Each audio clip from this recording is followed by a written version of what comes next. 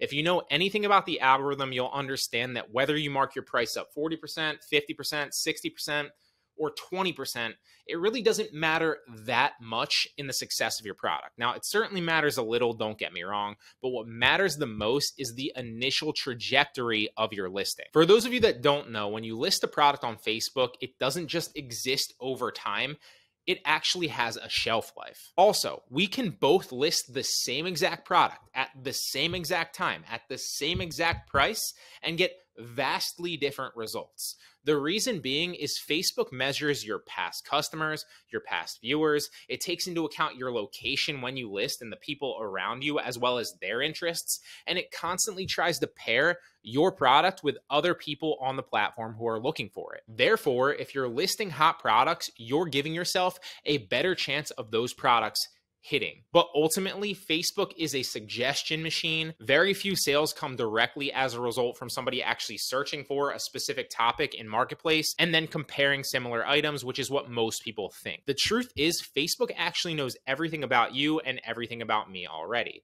And they already have a good idea of the products we're looking for and when, and which one of us are most likely to purchase what products and when. So, based on a listing's initial trajectory, meaning like the click through rate, the conversion rate, the current demand on the platform, etc., it will either get more views as it snowballs or it won't and it'll die. That's why you see some of your listings take off and sell over and over and over again, and some that literally never get any views at all. And that's also why we can both, like I said, both list the same exact products at the same exact time with the same exact price, the same exact description, the same exact title, etc., and get vastly different results because of the listing trajectories. It's really simple. The ones that had little to no views or little to no traction are the ones that Facebook tested, but the initial people that they showed them to didn't respond well to them. And so Facebook stopped suggesting it. On the other hand, right? The ones that took off had complete the complete opposite trajectory. They were shown to people either searching for them on Facebook or they were suggested to people that Facebook believed were looking for those products.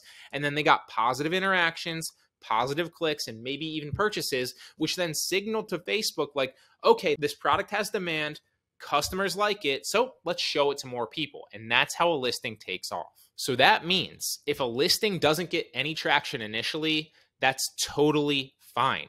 You can renew it and relist it when the time comes, which is every seven days, and give it another chance to take off then. The secret here is there's no limit to the amount of times that you can renew and relist the product. You can keep doing it over and over and over again once you list it. So as you add more hot products to your store and you keep renewing and relisting them, if they don't take off, then you're simply multiplying your chances of exponentially increasing your sales going forward as you add more and more products that take off.